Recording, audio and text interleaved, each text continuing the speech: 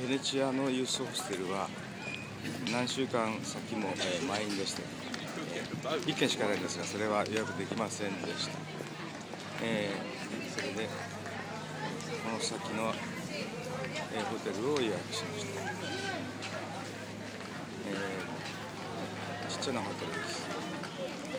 1泊60 60ユーロ、えー、週末は85ユーロ。それでも、えー、ベネベネチアの中では